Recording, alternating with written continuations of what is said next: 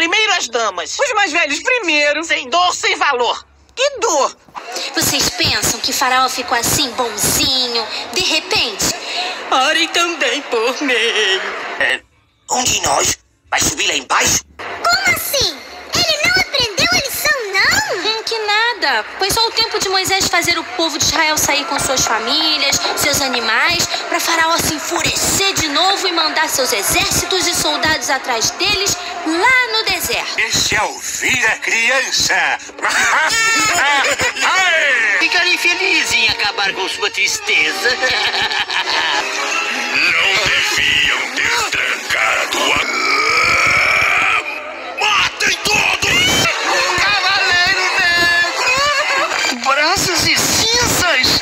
exclamou Thomas. Eu preciso voltar a um local seguro. Ele estava muito assustado. Sozinho com essa bilona grande, cara! Socorro! Estamos mortos! Mortinhos da Silva! Calma! Vai dar tudo certo! Deus estava no controle, lembra? Eu sou o oficial da lei.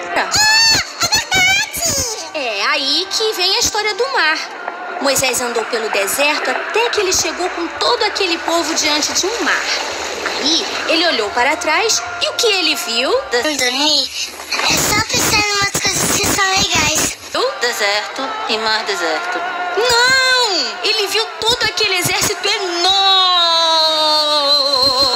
de Faraó chegando cada vez mais e mais perto. E na frente dele, gente, tinha o quê?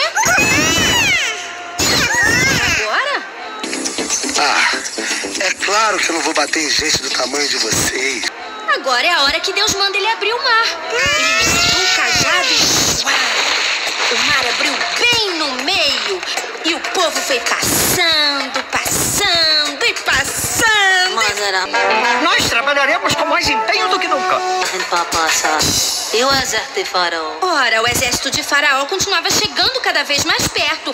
Mas aí, quando a última pessoa do povo de Deus passou.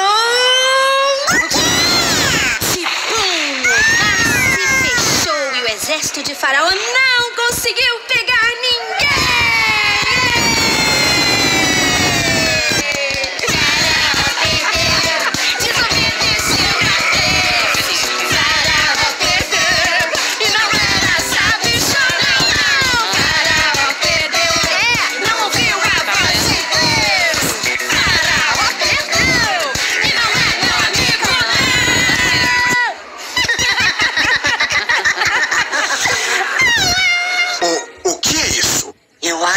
Foi aqui, aqui pertinho. Foi aqui